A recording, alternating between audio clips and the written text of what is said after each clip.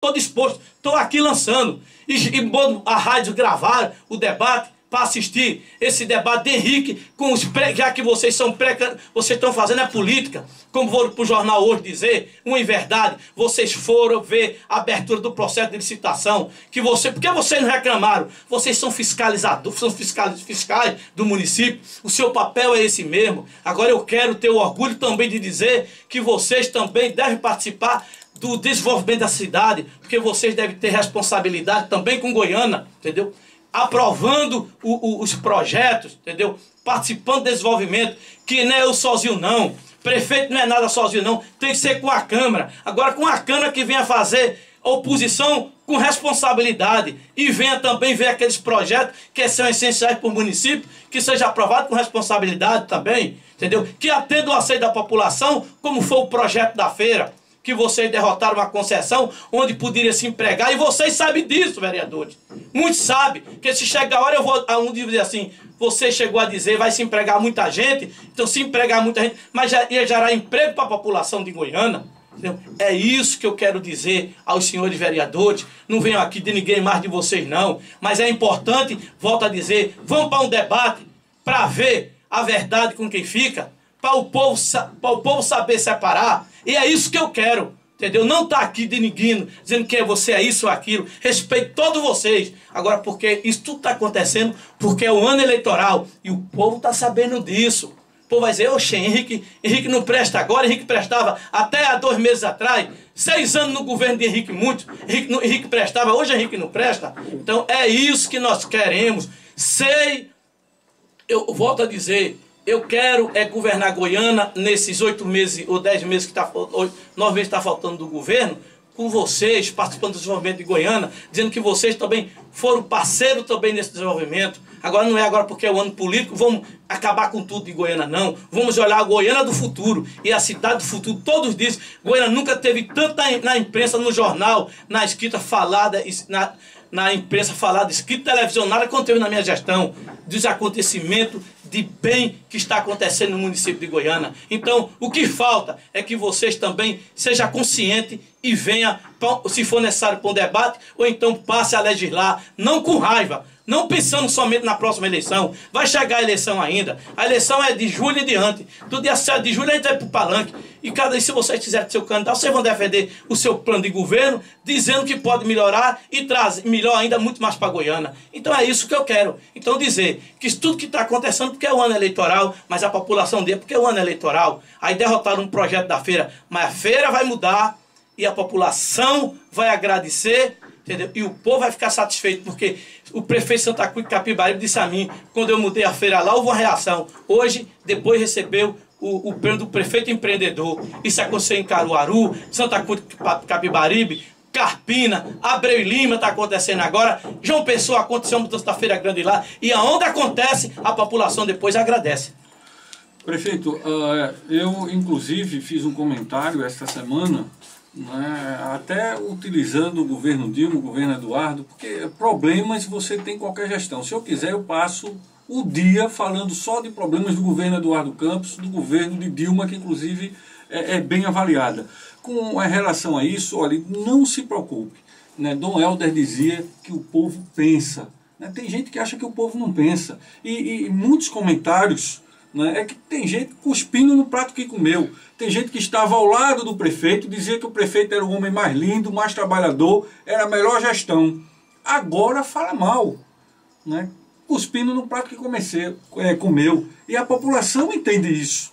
Né? A população ela entende isso e vai dar resposta no momento certo. Agora um outro ponto, e aí eu quero dizer que muita gente está ligando, né? Daqui a pouco eu vou começar a fazer as perguntas do ouvinte, mas tem coisas que a, a gente precisa né, discutir e se hoje né, não der para conversar tudo e perguntar tudo, a gente vai marcar um outro momento com o prefeito. Agora, prefeito, uma outra coisa que pouca gente sabe é que o senhor, pelo menos do meu conhecimento, é o único prefeito que foi homenageado pelos servidores públicos municipais. O próprio sindicato, e aí eu já ouvi dos dirigentes sindicais, né, ele, o próprio sindicato afirma que nenhuma gestão nenhuma gestão fez tanto pelo servidor público como o senhor. Inclusive, há pouco tempo o senhor foi homenageado lá na Saboeira, não é verdade? É, e infelizmente nenhum vereador foram convidados e nenhum foram. Por quê? Bem, é uma coisa que o prefeito fez. Quem diz não sou eu não. O Cicepug diz que há 30 anos nenhum prefeito sentou à mesa para discutir piso salarial, plano de cargos e carreira, entendeu? Vantagem para funcionário público. Quem diz isso não sou eu não. Quem diz isso é o Cicepug, é a diretoria do Cicepug. Hoje eu sinto já o reconhecimento do funcionário público. Já estão chamando o prefeito do funcionário público. E não foi em vão que há 10 dias, 12 dias atrás, lá no clube da Saboeira, entendeu? Numa terça-feira pela manhã, a diretoria do sindicato do Cicipug, a, a diretoria do, dos professores, Sindicato que- dos do professores. sindicato dos professores, entendeu? É, prestou uma homenagem à minha pessoa. E lá estavam os professores, estavam os motoristas, estava a guarda municipal, estava todas as classes lá prestando uma homenagem à minha pessoa, dizendo, esse sim, olhou para o funcionário público.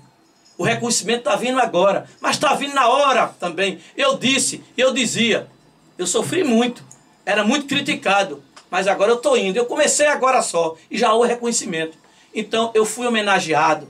Os professores de Goiânia, o melhor plano de cargos e carreira do estado de Pernambuco foi dado na minha foi dado por mim na minha gestão. Certo? Foi dado por mim na minha gestão.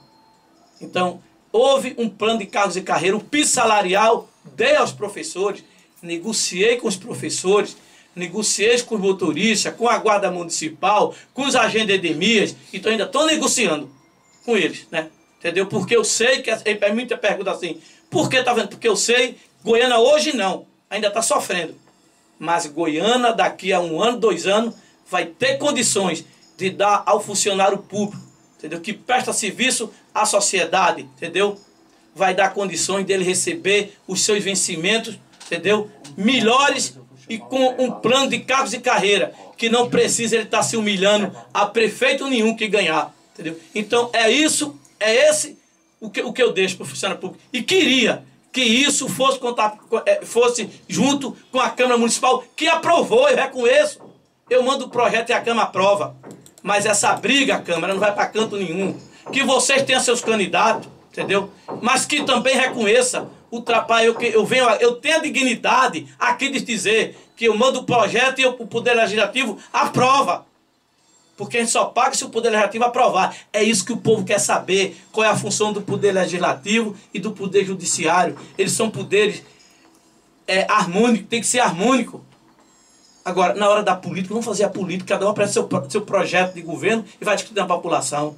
Era isso. Eu queria que esse brilhantismo fosse dividido entre Câmara e Prefeitura. Mas vocês aprovam e começam a criticar. Os professores disse, vão lá para uma discussão de um projeto, não discutem nenhum projeto. O regimento é ferido. Eu fui vereador.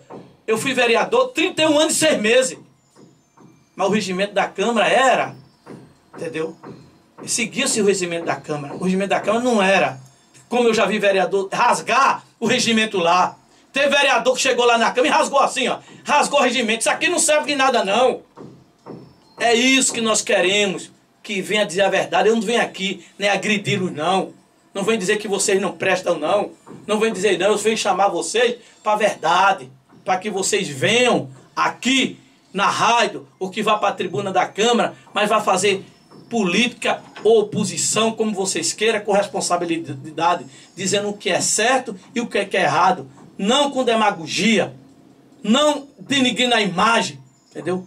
Entendeu? Mostre que onde eu estou errado e sei onde eu, onde eu errei também, mas sei também que o desenvolvimento chegou na minha gestão, as empresas estão aí na minha gestão. Isso daqui eu vou também mostrar os incentivos que nós estamos dando. Amanhã vai ser uma prova lá no cinema Politeama com os empresários mostrando que a Queiroz Galvão, o que ela comprou, o que vai ser construído em Goiânia, o que vai ser essa cidade, quantas cidades vai ser construída aqui em Goiânia. Devemos preservar a nossa história, Vou começar um discurso amanhã até falando da história de Goiânia, uma cidade que vivia da monocultura da cana-de-açúcar, hoje vai ser uma cidade de metalúrgico, porque muitos, muitos ainda não têm a dimensão do que vai ser essa cidade daqui a dois anos. Vai ser desempregado em Goiânia quem quer.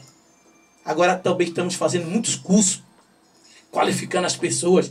Existe uma agência de desenvolvimento aqui em Goiânia, que é a de Goiânia, que a gente vai mostrar doutor Rudi, que foi o, o, presidente, vai deve vir aqui. Eu quero agradecer à Câmara quando aprovou o projeto da De Goiânia. Foi importante para a Goiânia, não foi? Para desenvolvimento.